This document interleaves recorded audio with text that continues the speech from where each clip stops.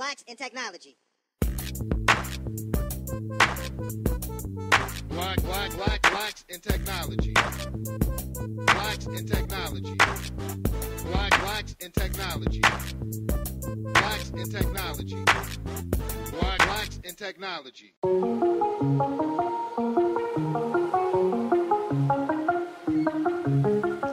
What's up, Bit Family? We are back with another exciting episode of the Bit Tech Talk podcast. On this episode, Greg explores the world of user experience with Imani Nichols. Imani Nichols is the founder and senior UX researcher at Yzzi Research. Based in New York City, Imani founded Yzzi Research to help businesses understand the pain points, desires, experiences, and journeys of their end users and customers. She provides research based insights that enable businesses to design and engineer products and services that their customers enjoy. And now, the host of our show, Blacks in Technology founder, Greg Greenlee.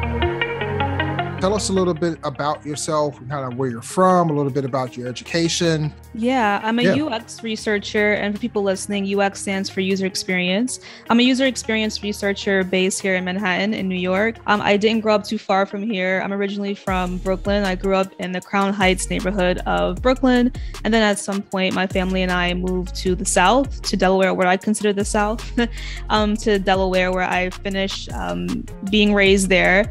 And then I went to college even further down south in Virginia. I went to University of Virginia where I studied media studies and minored in sociology, and that's where I started learning about research, which is what I do now.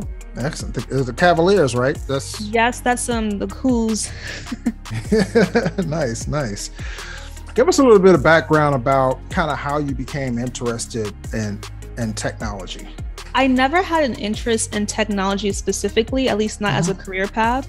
So I mentioned when I went to University of Virginia, also known as UVA, um, I did research there for most of my my tenure. I was an undergrad research assistant for a variety of professors working on different types of projects that were like qualitative and also quantitative as well. And I wanted to continue doing research in some capacity as a professional, but I didn't know how that would manifest. Um, thankfully, I had a mentor who was an alumna of the university who was a UX researcher in New York at the time. And so I'm thankful she and I got linked up um, because she taught me about UX research. Prior to her, I'd never even heard of it. so she told me about it. She explained what she did day to day. And she told me that I probably would be good at it since I had all this research experience from undergrad. And as I dug deeper into UX research, I learned very quickly that it mostly exists in the tech space. So I, I wasn't really interested in tech per se. It was the fact that my interest in UX research took me to tech. Um, since UX research, for whatever reason, seems to be most dominant in the tech space. Right. So that's how I became interested. It was more like a, I guess, a tangential entry into the tech space. Nice, nice. And I like that word tangential. I might have to use that sometime. no, some I was actually talking to someone earlier and they used it. I'm like, you know? I'm going to use that one. Great minds think alike. When you hear an interesting word, steal Right. it and use it later on. exactly. nice, nice. So you mentioned uh, what the the the letter stand for. The abbreviation UX stands for user experience. But tell us what a user experience researcher is. Yeah, it's always interesting because UX research is so straightforward, but yet it's always so hard to define to other people. So I always say it's someone who studies users of a product to understand how they interact with the, interact with the product itself. And the product is usually a digital product, so think like a website, a web-based experience, an app on your phone.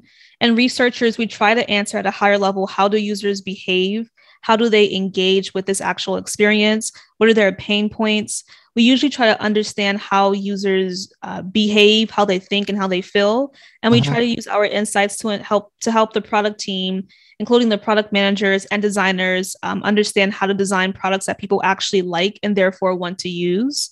So that may manifest as us observing how people actually use a product and asking questions about that, and giving them tasks to complete to see how they actually can achieve those tasks in the app or in the web experience. Mhm. Um, it can also manifest as us doing interviews with customers to understand how the product fits into their lives, to understand them more as people, and to help design products around their humanity, basically. So it manifests in many different ways in terms of how we do it. But ultimately, it's just someone who tries to understand end users of a product. I like that. Um, here's something interesting, uh, an interesting question I'll pose to you. Um, because I think when people think about customers, let me ask you this: when you say customers, right? Or who who are you who are you referring to? Because I, I had a an experience, a, a, a, conversation that I had with a person who uh, was a UI UX uh, person, uh, and a lot of people when they think about you know customers, they think about people outside of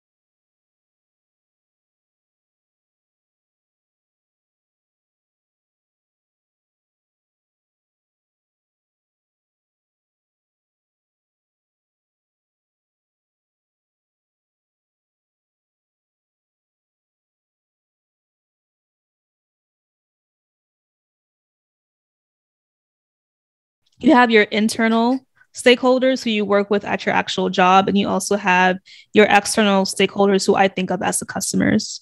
Excellent, and that's that's. Um, I, I wanted you to you to explain it because uh, I felt it was necessary to kind of make that distinction.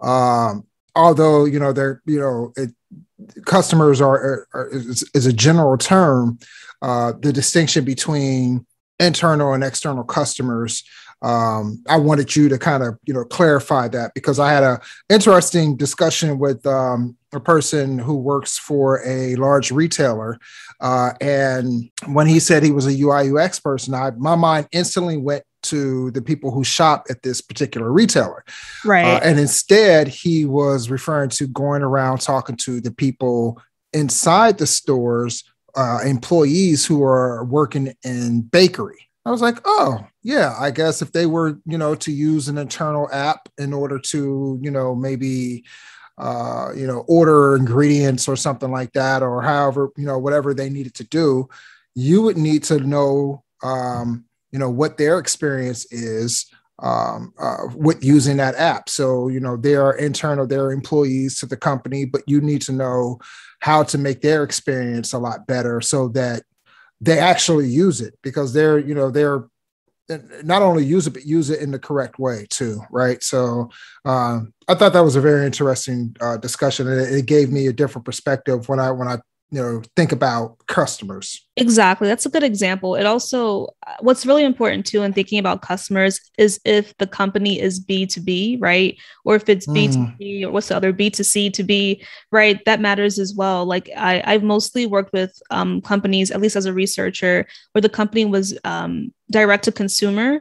So mm-hmm the end user was the consumer. However, when you gave that example, I was thinking of a company like Uber, Uber Eats or DoorDash, right? Where the okay. customer could be like someone like me just ordering some pizza, right? But mm-hmm. it could mm-hmm. also be the, the, Uber Eats driver as well. Yeah. Um, it could also be the restaurant owner. Um, so yeah, I, I think that it definitely matters if the organization is like direct to consumer or not.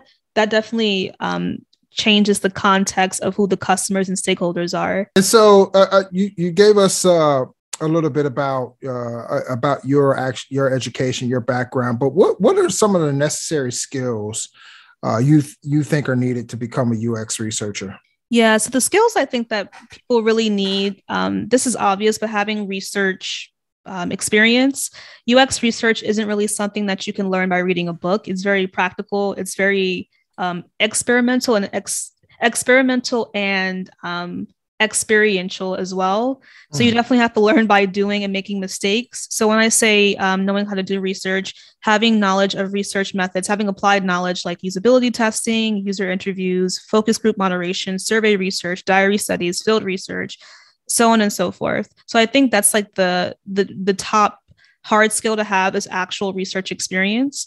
And then I would say, in terms of soft skills, being a good listener, we talk to people all the time, um, being a mm-hmm. good note taker, taking notes on what they're saying. Um, you don't have to be a super extrovert. I'm not, but being a good conversationalist is important. Um, being organized because you work with a lot of different types of um, data points and you have to keep it all together. So I think those are really the top four um, soft skills. So being able to listen, being able to take notes, being able to speak well, and also being organized. And also, no, I would say another one too is just knowing how to balance different temperaments. As a researcher, when you have an active project, you're working with so many different people. And I mean, as anyone who works with people knows, everyone has a different energy and right. vibe and personality and there are some people who are just easy to get along with and there are others who are not and so just having like maturity and patience to manage all of that is also critically important as well interesting i, I wouldn't have i would i would have thought that most people would be cooperative uh i guess in, in the research but uh, is is that your experience or you you you come across people who like don't want to talk kind of or you know people that you kind of have to pull information out of? Yeah so generally most people are pretty pleasant because they choose to participate right? Like uh, um, okay. i've never been in a i've never been in a situation where i've forced anyone to do to participate in research. So generally people are fine but it's not uncommon and i'm sure if any researcher listens to this they're probably nodding their head.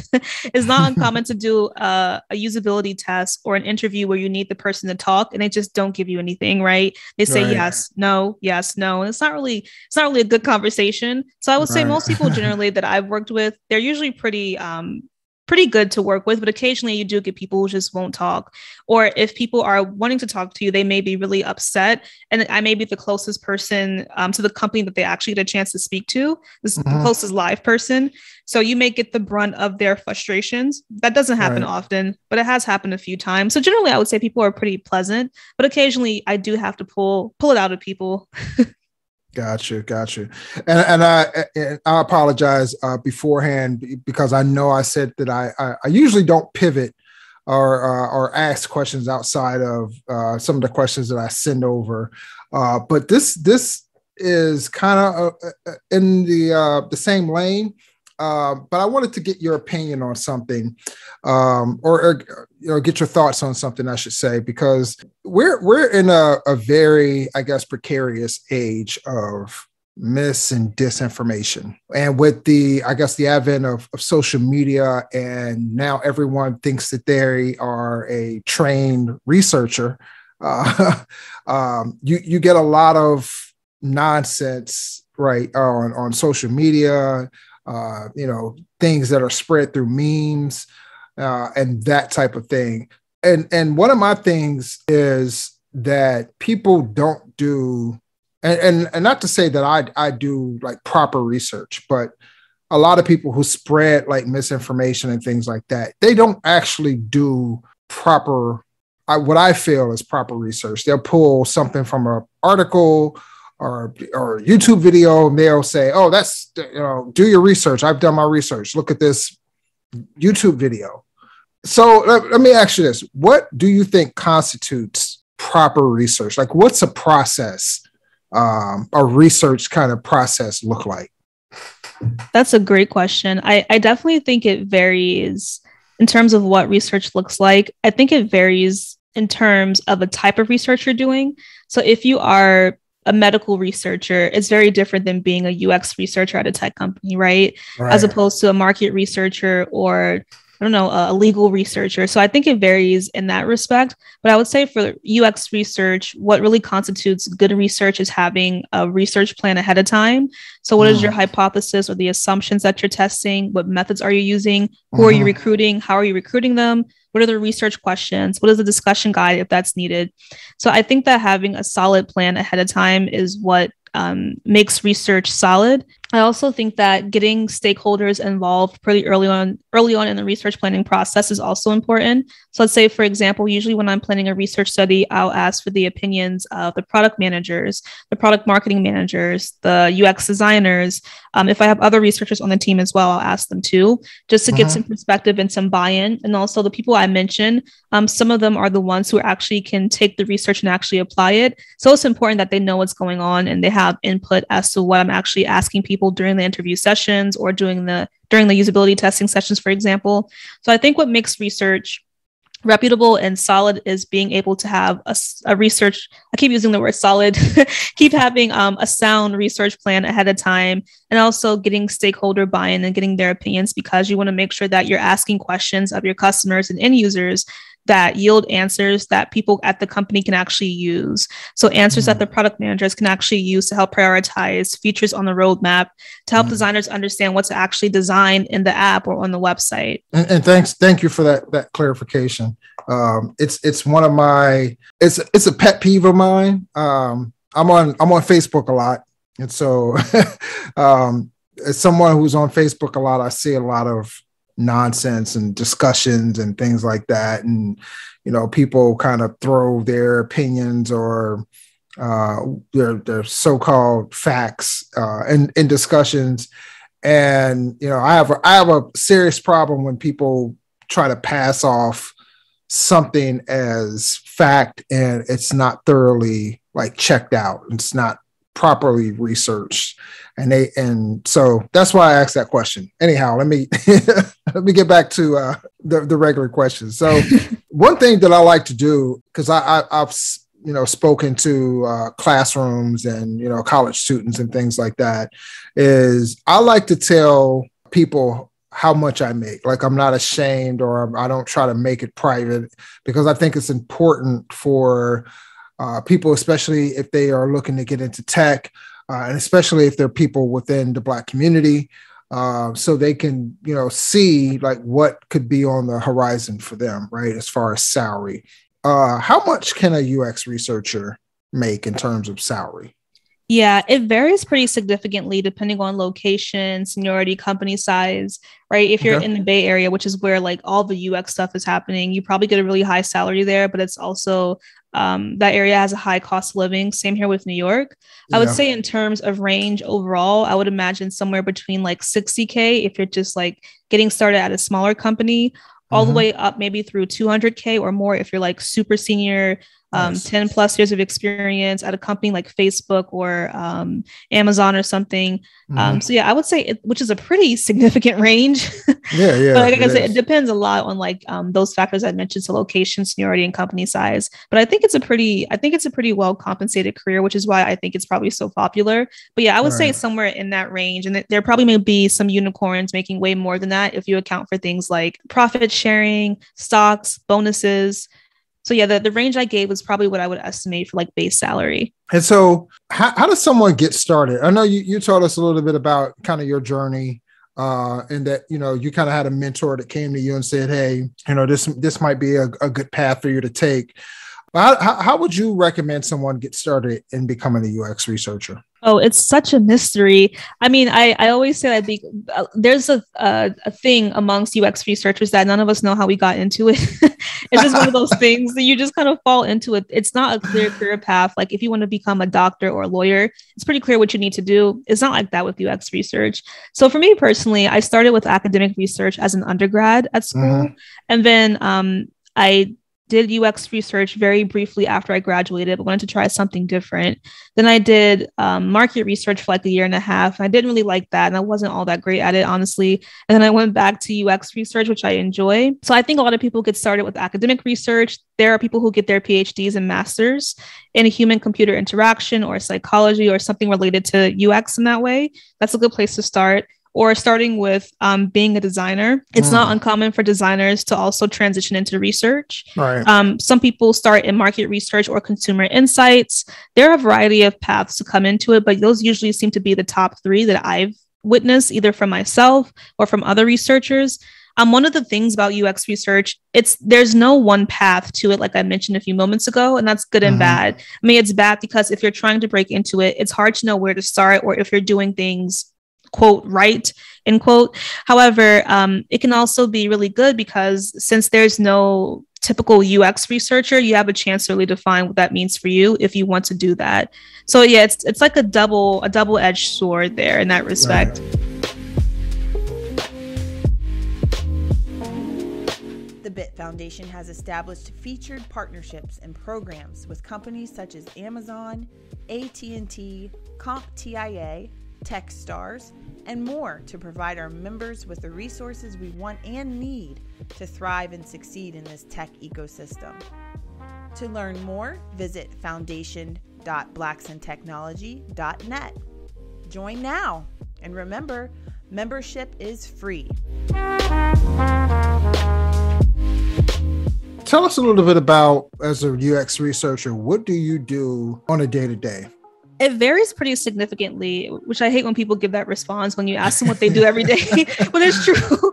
but it's true. It, it varies significantly. And also, um, so I own my. That, that keeps it interesting, though, right? It does. It definitely does. And I own my own research company, which I know we'll probably talk about a little bit later in the episode. But on a day to day, it varies. So I may, if I'm doing an active research project, I'll be writing research plans, um, recruiting participants, conducting the actual research, um, scheduling time with participants, following up with incentives, analyzing notes from the research, sharing insights with the team. If I'm at a, um, if I'm on a longer engagement, creating a, ro- a research roadmap. Um, if there's a repository, updating that research repository with my notes, with recordings from sessions. And of course, because I do work for myself and I am, um, I work on a contract basis, applying for contracts and also, I have a coaching program where I coach aspiring and current UX researchers, and I help them get their application materials together to apply for UX research roles. So mm. I may be doing a little bit of that too. Or, and I also produce my own podcast, um, the Yzzi Research Podcast. So it's a podcast about research, primarily UX research, but I have other researchers come on um, at times as well. So I may be producing that. So again, it really varies depending on if I'm working on a client project if a research study is active, if I have like um, coaching mentees lined up. So it just it varies quite a bit, but that's usually it's usually one of those handful of tasks. Sounds like you have a ton of spare time on your hands. yeah, but thank, thankfully I, I enjoy what I do, so it's yeah. it's easy to find the energy to do it. But yeah, right. it, it is a lot. But like um you know just juggling different things on different days. Right, right. And when you enjoy it, it doesn't seem like work and it just you know you just kind of flow right? Exactly yeah i think that's the word for it in psychology. I think it's called flow like when you just really? get in the zone. Yeah it, there's a psychological con or i could totally be lying too. I could be making it up i think it is called flow like when you find something that you really enjoy time just goes by so yeah, yeah. I, I do think that research for me is one of those things for me like at this point in my career. So, what do you think out of all those things are, are, are, like the most important function of your job? Yeah, I would say practically is actually conducting the research and also making sure that my internal stakeholders, like product managers and designers, actually understand the findings and can apply them if they need to. Mm. And also at a more higher level, being a liaison between the users or the customers and the internal stakeholders like, that I mentioned um, mm-hmm. So I would definitely say getting collecting the data and also making sense of it and relaying that sense to internal stakeholders as well. Speaking speaking of that, kind of let's let's walk through that that process. Um, you know, and, and you don't have to go you know super in depth about about it but tell us kind of a little bit about what that process is from you know kind of beginning to end. Uh, you know just like a, a quick you know run through of what that process is like. Like what is it like to like start a project all the way through delivering the insights? Exactly yeah, so I had mentioned a few moments ago. Um, I mentioned like the research plan and getting by stakeholder buy-in early on. So that's usually the first step. And then once I get the green light from the stakeholders to move forward, then I do recruitment for participants, um, which is not usually the most fun part. People sometimes don't show up, they cancel, and it's kind of hard to reschedule sometimes. Yeah. That's what I do next. And then I conduct the actual research. So let's say if I'm doing user interviews, I'll conduct the actual interviews. And then once the research is conducted, I'll go ahead and analyze and synthesize the findings. So I'll review the notes from the interviews to find patterns and themes to see what answers I found to the research questions that were on the research plan.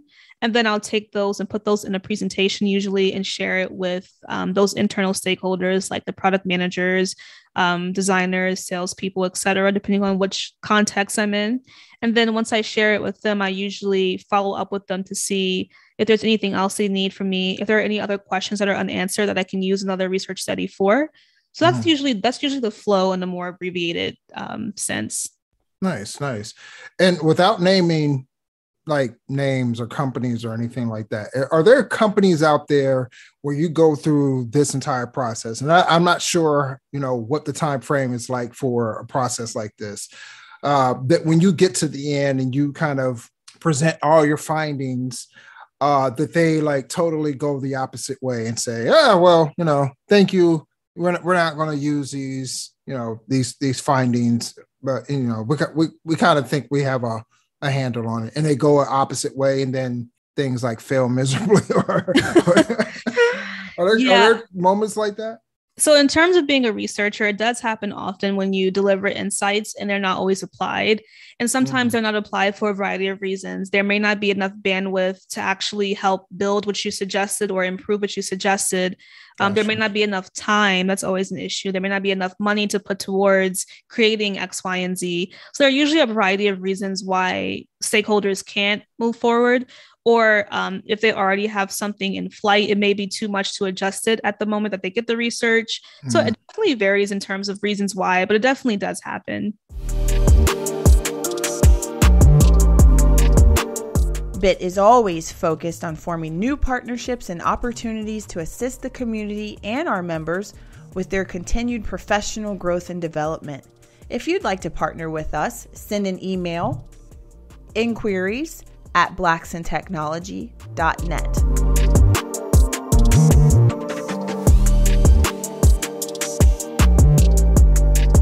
So let's let's talk about um, your your company. And I don't how do how do you pronounce that? Is that Izzy or Yizzy. Yizzy? Mhm. Okay, Yzzi Yeah. Research. So tell us a little bit about Yzzi Research and and why why you chose to start your own business. Yeah, so Yzzi Research, it's a UX research company. Um, and I always wanted to work for myself and have that flexibility. I like being able to pick who I work with. Um, I like having the variety of clients and also being able to work on projects that are really engaging. So that's Mhm. why I started my own um, company. It's something I've always wanted to do. I didn't know until fairly recently that I wanted to do a UX research company, um, but I've always wanted to own a business, even as a child. Where, where, where do you think that came from? Did you have like in, in, you know influences as a as a uh, as a young child that you know you kind of drew from and said, hey, like that. I like that I the idea of working for myself and and the flexibility and I think I want to do that later on in life. I don't think so. Yes and no. I would say no because it probably wasn't consciously looking at someone and thinking that. But um, both of my parents, at some point when I was much younger, they were entrepreneurs. Um, so they owned like different businesses again when I was much younger. So I'm pretty sure, like growing up, seeing them um, work on their own and work for themselves was probably an inspiration um, Right. by virtue of osmosis. But was like did I consciously think that? Most likely not. But you know how it is. If you're just in an environment, do something as a Right. kid, you're gonna do it too. exactly. Well, shout out to moms and pops for yes, for subconsciously inspiring you. exactly. so so tell us about some of the services you, that uh, you provide. Yeah, so I provide um, UX research services. So I do discovery and evaluative UX research. So evaluative UX research is what most people associate with UX research. So think something like usability testing, for example. And Mhm. discovery research is more open-ended, um, more like strategic research that isn't really centered around um, specific usability about a product, but more so about learning who the users are. So I do both of those, and that can include things like interviews, journey maps, personas, usability testing, focus groups, field research when we're able to actually go out in public again, card sorts. Um, and also, in addition to doing UX research, I also produce the Yzzi Research podcast where I talk about research with other researchers. And also, I have the Yzzi Research Coaching Program, um, which is geared at aspiring and practicing UX researchers who want to work on their job application collateral. So, think like their LinkedIn accounts, cover letters, resumes, portfolios, mock Mhm. interviewing skills. I help them as well. So, I take a lot of what I've learned because it was kind of hard for me to actually break into UX research and figure out how I needed to present myself because you need to do it in a very particular way, but it's not always clear how you're supposed to do that. So that's why I started the coaching program element of it. So that's what I do. So I do um, UX research and also coaching for UX researchers as well. Very nice, very nice. So, let me, what are you know? Because I've I've worked in companies that have like UI UX personnel that that are employees of the company. What are some of the benefits of like hiring just a UX research firm? Yeah, and in terms of hiring a UX research firm, you get very intimate knowledge about your user base. I always say like market research is good for like the big picture and it's good for Mm. collecting big data. However, when you need small data, like that human touch or a sense of um, narrative or understanding your users more intimately, that's where UX research really is a strength. Um, mm-hmm. Um, you get that expertise that you just can't get from market research or from data science. Um, and also bringing in a third party firm for someone who doesn't actually work at the company because we obviously don't have any company knowledge if we haven't worked there before. We bring a unique perspective as individuals coming into this dynamic mm-hmm. and also the research skills as well. So I think that the the the what I'm saying is that UX research, hiring a UX research or a UX research firm definitely gives companies a competitive advantage um, because a lot of companies don't do UX research and they don't know their customers. And they, their customers, if you actually talk to your customers, they will tell you what they want. People are not shy when it comes to things like that to tell you what they like and dislike and what they want to see. Right. So I, I definitely think that the major benefit is that the company doing the hiring gets a significant competitive advantage over their competitors. What's up, everyone? We hope that you're enjoying this episode of the Blacks in Technology BIT Tech Talk podcast. Do you or someone you know have a dope story that they want to share with our bit audience? Blacks in Technology is seeking guests to be on our podcast. We're looking to highlight the journeys and experiences of black women and men in the tech industry. So if you know of someone, send them our way. Shoot us an email to contact us at blacksintechnology.net or click on the link in the show notes and fill out our form. We're looking to hear from you.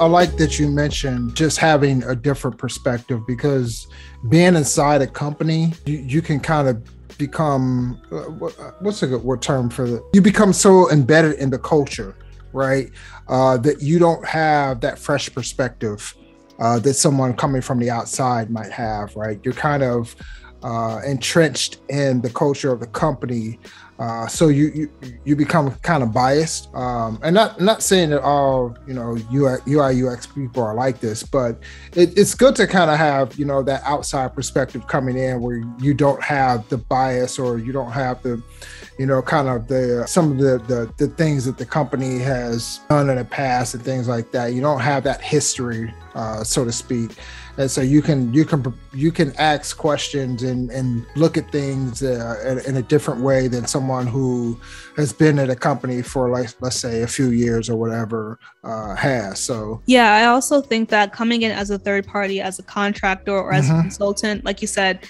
i'm not entrenched in the business so right. i can move a little bit more freely amongst like different departments and different teams and rallying the mm. troops with little resistance um, i feel like when you work somewhere full time a lot of companies companies, especially big companies, tend to be very siloed just because they're so big. Right. And when you come in as a consultant or a contractor and you have to pull in all these different parts, it's easier to pull in people from different parts of the company because you're not you're not there all the time and you're there right. for a certain time period. So there's a sense of okay, well, we have to if you want to get these insights by the end of this contract, we kind of need to collaborate with you. So there's a sense of that as well. So yeah, I definitely think that coming in as a third party helps me move a little bit more freely amongst teams that may be more siloed. I, I love the fact that you are coaching as well. Like it's, it's it's your way of giving back. You know, there there are people who once they get to a certain status or a certain point in their career, uh, they kind of want to cruise, right? Because they're comfortable at that point. Like, hey, you know, I'm making good money. I'm I'm you know doing what i love. And there's something different about a person who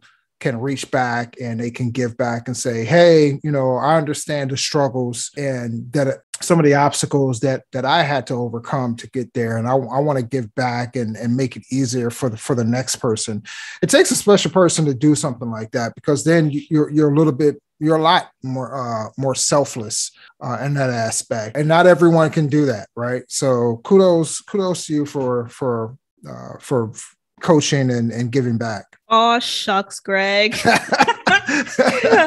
no, but thanks. I appreciate that. But I, so I, so for my coaching program, I do charge for that. However, I do realize that not everyone obviously can afford to pay for support. Right. So that's the reason why I did the podcast, which is free and will always be free. I share a lot of knowledge there as well in terms of like interviewing and getting your portfolio together and what do researchers actually do, et cetera, et cetera. So I try to balance that out too, because I'm, I'm not oblivious to the fact that not everyone can afford a coaching program. So yeah. the the podcast is free. There's also a lot of information there too for people as well. Excellent, and, we'll we'll get into a little bit more about that because mm-hmm. that I mean I think that's you know, it for me, you know, Blacks and Technology has always been about you know kind of providing information and and supporting one another and community so i love to see another uh, black person in tech uh, doing the same thing right? Because when, when you know I, I, I say this quite often on on um, in the past podcasts but when when i got started doing podcasts there weren't a lot of black people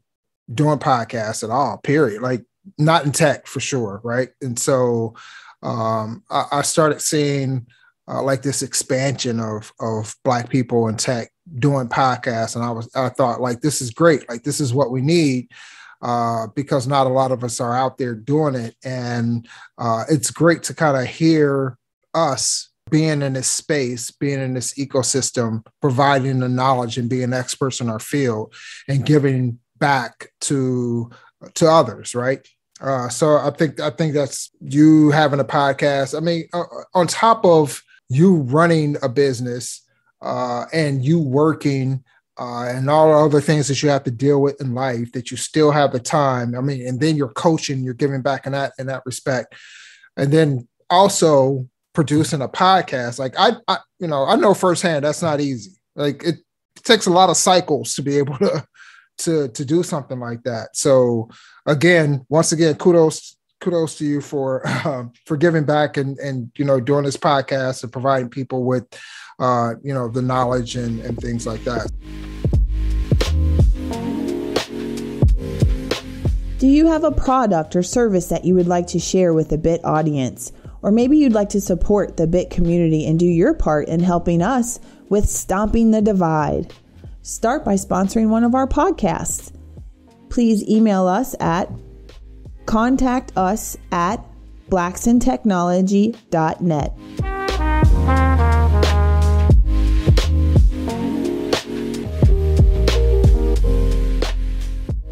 Tell us, you know, what's the hardest part about owning your own business, a tech business? Yeah, I would say the hardest part about owning a company, especially as a researcher, is learning how to actually be a consultant on a short, a hmm. relatively short term basis. If you're at a company full time as a traditional nine to five employee, you're there until you choose to leave or you get laid off or you quit or you get fired, right? Yeah. When you're there as a contractor or a consultant, you're there until you're there for six months, eight months, a year, and that's pretty set in stone unless something changes. Um, right. Um, and learning how to adapt to different clients every few months is something I'm still mm. trying to get adjusted to. So I, I like the variety. I like trying different um, different things, working with different companies in different industries. However, it is kind of hard sometimes to figure out okay how do they do it here right? Like what are the dynamics here? Like who can i actually talk to as an advocate? Who's really pro research who's not? Whose temperament is really compatible with mine with mm. mine?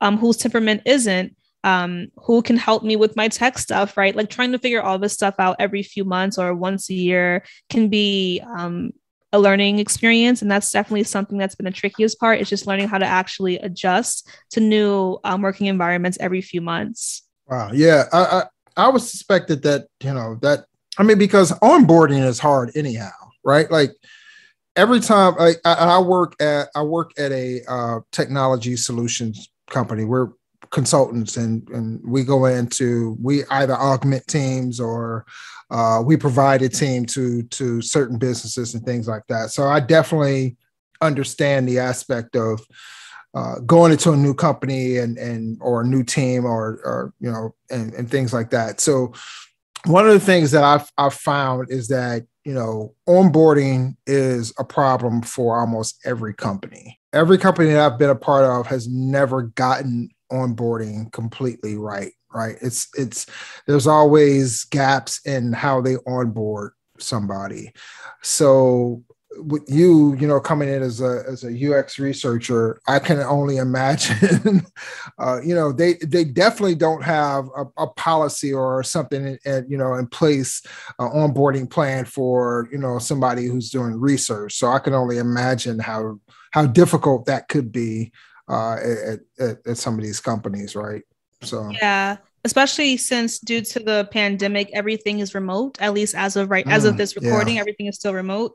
Yeah, um, so that definitely, I know a lot of companies are struggling. They're used to doing everything in person. Now, how do you onboard people virtually? So that's also been a challenge as well. But I, I'm getting the impression. So I've been working full time as a contractor since February of 2021. So not very long as of this Mm. recording. Um, Okay. However, um, I've noticed very quickly that I'm gonna have to create my own sort of research onboarding. So I, if I get an onboarding, I was to ask that. else, yeah, I have to have some sort of research onboarding I create. So figuring out who the stakeholders are, just having a meeting with them initially, um, figuring out where documents are stored, things like that, and just trying Yeah. to pull those people in myself. So that's something I'm gonna have to learn how to do. Um, however, I have had contracts where that was already done for me, which was nice. Oh, but for the for the contracts where that's not done for me, I definitely have to start thinking of a way to actually get that information myself and kind of give Mm. myself a UX research specific onboarding for that particular contract. So that's something I'm still learning how to do too. Nice, nice. Yeah, that's what I was thinking about. Like, you know, how how how can you like create like a run book uh on on uh you know getting the the information and, things like that that you, that you need in in order to be able to to successfully do your job. So yeah, kudos. Okay. So tell me what what what do you think is uh you know kind of the most fun part of owning a tech business? I would say one of the most fun parts so far has been the ability to pick and choose who I work with. If I I've turned contracts down because I just wasn't feeling it, frankly, for a variety of different reasons. And it's nice being able to just say no to someone to someone or something you just don't want to do. That's nice. And also um, being able to flex different research muscles. So I may be working with one client that's really focused on like usability testing, but another client wants to do a lot of survey research or interviews, for example. So it's nice being able just to try out different methods and not having to commit to one or the other. Um, so I like that too. So just being able to have some flexibility in who I actually work with and also being able to flex different research skills. Nice, nice. And so, are, are you at the point right now in your company that you're hiring, or are you're still gr- kind of growing the company? So I'm still growing. It's just me right now and probably will be for a while. So I'm not Okay. at that point. I'm definitely not at that point yet, but I would I would love to be at that point if I do um, continue to develop with UX research and with Yzzi research. Um, however, yeah, I'm not there yet. Well, you know, uh, every every company has a beginning, and uh, hopefully, this is the beginning of of something big and, and great for you. So, so tell me a little bit about. Um, let's let's switch to to your podcast. Let's talk about that. Uh, what, what's the name of it? What's the name of your podcast? It's the Yzzi Research Podcast, and that's spelled Y Z Z I. Um, and that's how everything that's branded for the bit for the business is spelled as well. Uh, tell us what, what what's behind the name. What is it? So, what, what does that um, mean? so one of my nicknames is Izzy I Z Z Y, and it was just that backwards. Um, I couldn't. I had a hard time thinking of a business name, and that was actually the temporary name, but I kind of just stuck with it. Okay, So I like um, that. Yeah, so I just kind of ran ran with it. Okay, okay. That um, now I'm I'm- I'm about to uh, really show my my geekness here. So when when you said that, the first thing that came to mind was Mxyzptlk, and I don't know if you if you like read comics or anything like that, but Mxyzptlk was this fifth dimensional character uh, that was a nemesis of Superman, and the only way Superman could get Mxyzptlk to go back to his own dimension. So like he could control like pretty much anything. Like he could create, you know, create things out of thin air, uh, and things like that. Like he was godlike and so to speak, right? Uh, but the only way to get him to go back to his dimension and kind of leave like you know Earth third dimension alone is to get him to say his name backwards, and his name backwards backwards was Kltpzyxm. For all my nerd people, geek people who read comics. Yeah, that kind of reminds me of Candyman, right? You say his name five times in the mirror, right? or three times he Right. appears, or Bloody Mary.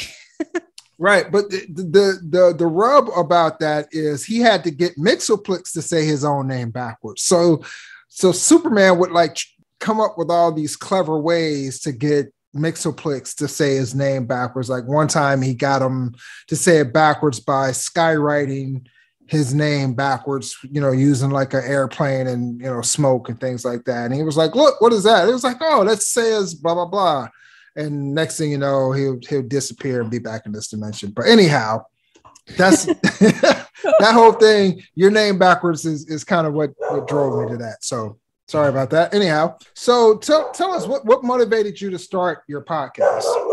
What motivated me to start the Yzzi Research podcast was a few things. Um, one, I mentioned that I knew that when I started my coaching program, I knew that not everyone could afford that. So having a podcast allowed me to answer a lot of common research questions and also feature guests um, to help provide that information for free.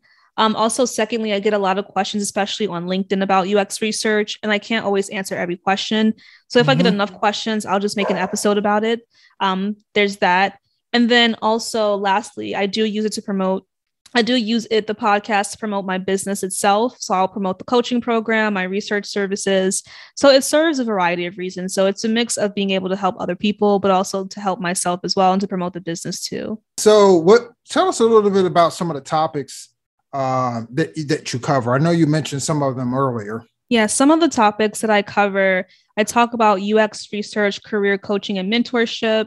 Um, I talk about like the personality traits of good researchers, what do UX researchers actually do in a day? Um, how to ace the UX research interview. I also have like a few market research. Re- I also have a few market researchers come on and talk about what they do.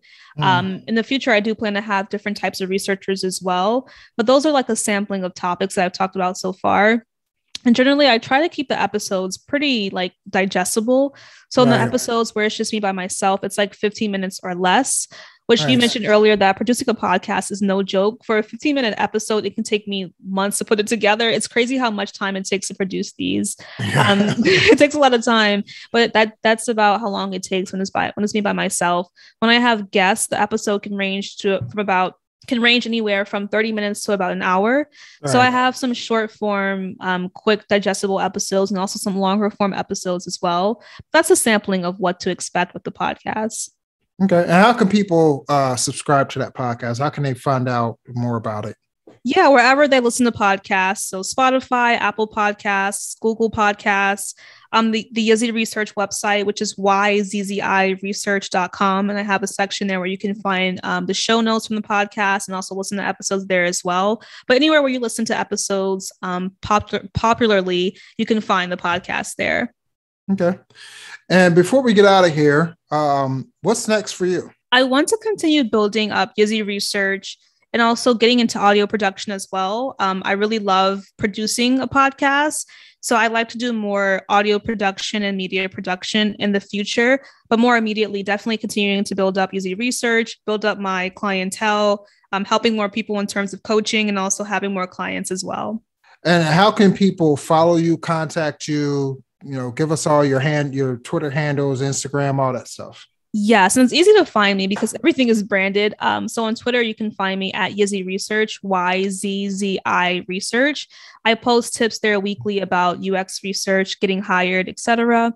And also the same with LinkedIn. Um, for my LinkedIn, you can just search my name, Imani Nichols, I M A N I N I C H O L S. And um, every week or two, I post tips there as well about UX research, about interviews, case studies. I post information there too. So LinkedIn and Twitter are the two best ways to follow me and get in touch stay in touch as well. Well, uh, well, Imani, I, I, really appreciate you coming on to the show, telling us about your journey, telling us about UX researching, uh, and telling us about you know some of the fabulous things you're doing uh, with your company, with your podcast, with your coaching, uh, and we wish you the best of luck. And and you know, later on, you know, kind of check in with us and, and let us know how things are going. Definitely, definitely. I really appreciate you giving me the opportunity. This was really fun and it was good talking yeah. with you. Same here, same here. Uh, so take care and uh, we'll be in contact soon. All right, sounds good. Thank you. Have a good night. Right, you too. Take care. Bye. Blacks in technology.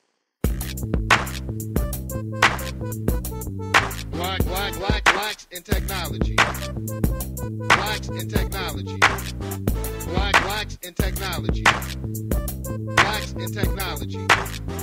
Black, blacks in technology.